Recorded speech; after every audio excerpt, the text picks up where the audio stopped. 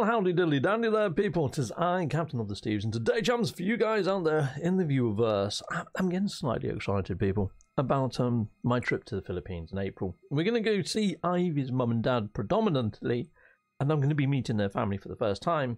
But we're going to what's called the province inside of um, the Philippines. So it's away from the city centres. It's right out in the rural districts. I mean, we are going to spend two days in BGC when we first arrive, or at least one night and a day. So yeah, when we arrive, we're going to a hotel in BGC, and then we're going to go do a bit of exploring, basically. Anyways, and that is the center. That's that last last Manila. It's beautiful there, BGC. I'll, I'll find a video in a moment for BGC. But anyway, let me jump on over and show you where we're going to see Ivy's parents. So here we go. Let's go. Reaction cam. Boom. There we go, people. I'm over on Tinterwebs. Now, where Ivy's family are is in a place called Nueva Ecija. So I'm going to hit on up some of the best places to go visit. Now, this is just a picture slideshow. I'm going to mute the actual music and just talk over it, to be honest, people. There we go. There's top 10 places to go, and a lot of these look freaking majestically beautiful. I don't think we're going to that one. It's not on our itinerary, which is probably a good thing, because me and mountains, we just don't get on. I get knackered going up three flights of stairs. Okay, right. So I believe we're probably going to be passing this, the Gapan Church. I think this is on our hit list. I think this is there. Heck yes, it does look pretty darn epic in there, doesn't it?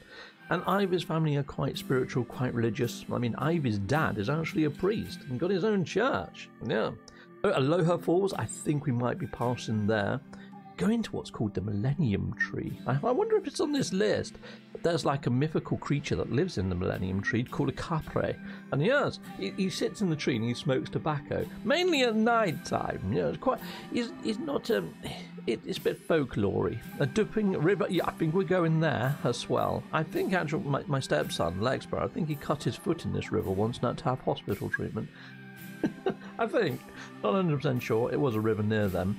Yeah, um, I don't think we go into the lake. I don't think we go into that lake, but it does look beautiful, doesn't it? That really does. There is like a resort inside of a river that's got all these sort of rafts and huts and stuff where you can buy food and things. I think we might be going to that. We're not going to the dam either. I hope not, anyway.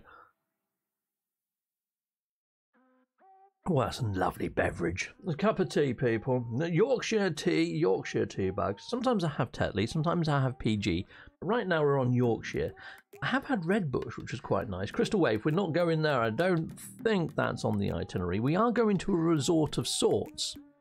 So there'll be something like that in our actual excursion, people in the viewerverse. Another falls.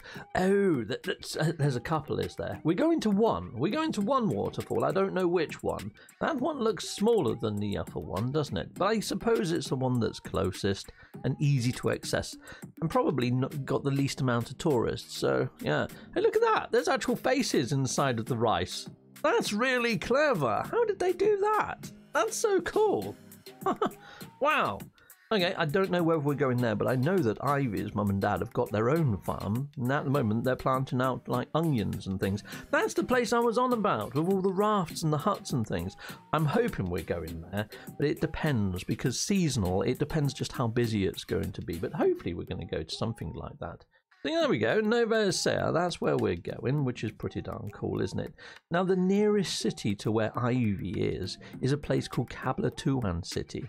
And you can see it's not all that modernized, but there are some modern sort of you know, shops and restaurants and places like that.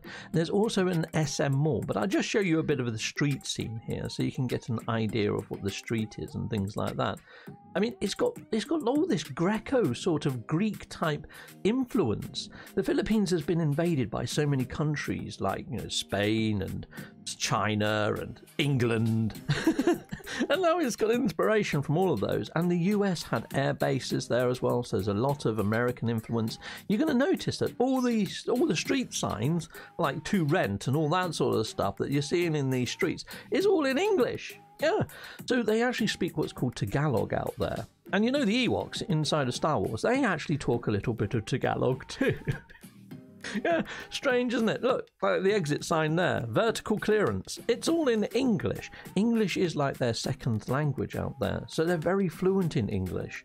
And you know, this, the beauty of this place is like Thailand, so it's got so much going for it for a foreigner from England or from the US because you get all the beauty of Thailand in a roundabout way, and you get all the convenience of it being in your language, which is lovely, which is cool.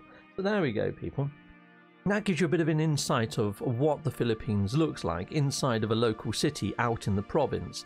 It's it's not all that um, modernized, but saying that there is the SM Mall, which I'll show you the SM Mall. I mean, look at all these electric wires just streamed across here. Hopefully, there's never going to be a solar freaking storm because that'd just all fry, wouldn't it? Yeah, but then again, I don't know whether they can put them under the roads because the roads must get so hot out there with the tarmac. Who knows? Anyways, let's um let's uh, skip that one for a second. This is SM City Mall, which is actually inside of Cabanatuan. So there are modern places inside of Cabanatuan like this, which is just a massive, great big mall where a lot of people will go for indoor and outdoor. Well, it's got outdoor mezzanines and things here, people. But again, all the signs are in English, which is brilliant, and it's it's really nice, really modern. I mean, We'd be hard pushed to find things like this over here in the UK. I mean, we have got malls, but to this size, I don't know. I mean, yes, maybe over in Birmingham, I know that they've got quite a large one, and in Oxford, but where I am, no, we haven't got anything as smart and as lovely as that. That looks freaking great in there, doesn't it, people? It really does. That looks so modern. And I'm seeing quite a lot of stores inside of here. I mean, I've already watched part of this video. They've actually got a Marks and Spencer's out there. Really, really surprised to see stuff like that just popping up and appearing. You know, the stores that we've got here in the UK appearing straight out there inside of the Philippines. Pretty darn freaking epic and cool. Anyhow, so yeah, that gives you a bit of an idea. So there are modernized areas. Now, I did say that we was going to be landing inside of um, uh, BGC, well, Manila, and we're going to be going around BGC Philippines. So here we go. Let's uh, let's go. Yeah, let's do that one.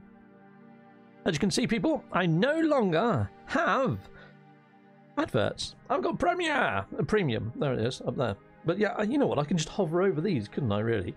I mean, you get the general gist. It's a very modern city, as Manila. Now, a lot of people are a little bit. Sh- oh, excuse me, shocked when they go to actual you know, Manila for the first time in the Philippines. They expect it to be a third world country.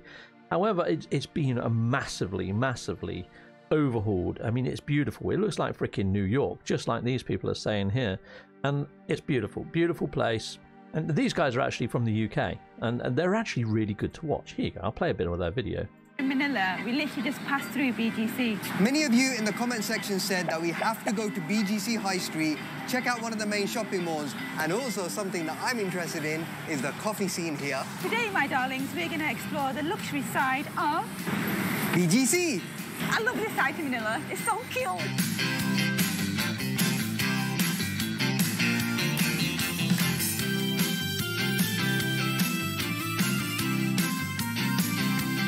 I really like these guys' videos. They're just so high energy and they're a lovely couple, always smiling, so nice to everybody that they meet, and everybody that they meet is so nice to them.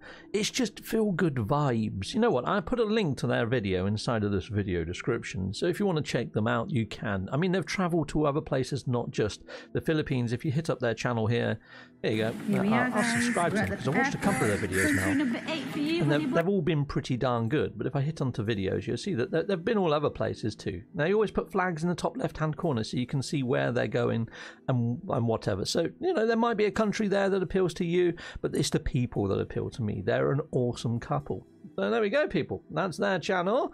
Lovely Chupler. Well, the Field of Visions. There we are, peeps. Right. Anyway, another thing that um Ivy wants me to try when I'm in the Philippines. I mean, look at this guy's face. He does not want to try this, does he? It's called balut. It's duck egg that's still got the fetus inside. Yeah, yeah, and they eat it. There's a delicacy out there. You know what? Here you go. I'm going to put the sound on, and we're going to watch this guy try a duck egg fetus. Here we go. Let's uh, let's make this nice and big. Let's just check the quality is actually is really uh, uh, quality as high as it can be, and let's hit play. All right, here we go. I don't know the best way. I think you break it. How do I eat balut? How just like Remove the skin, okay?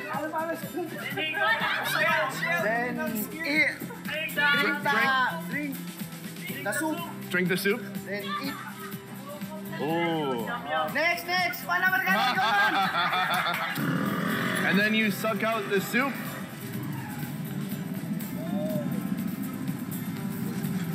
Ooh, that's good.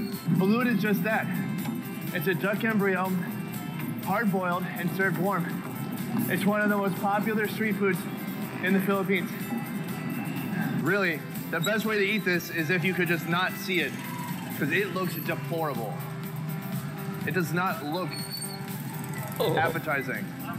it really doesn't, mate. No. And it kind of looks like I'm gonna try this. I'm, I'm, I'm gonna put a little bit of salt. You know, that'll make Oh, it better. Anytime I eat a duck fetus, I just think you need a little bit of salt. Oh, and there it is. How many balut can you eat?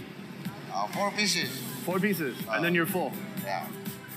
oh, he's going for it. He's freaking going for it. Hmm. The whole thing.